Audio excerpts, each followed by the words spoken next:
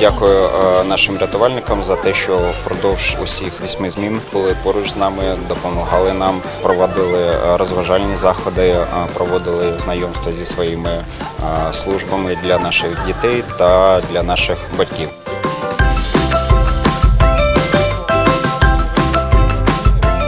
батьками спілкуємося, вони розказують, що діти, які ховаються в підвалах, вони вже от придумали собі гру таку, що вони вже стараються по звукам вгадати, який це калібр летить, що це прилітає. Тобто сумно те, що вони вже багато чого з цього знають. Ні в якому разі не наближатися до невідомих предметів, тому що навіть при відступі ворог може мінувати е, як і побутову техніку, так і іграшки. Якщо знайшли щось незрозуміле, визивайте 101 або 102.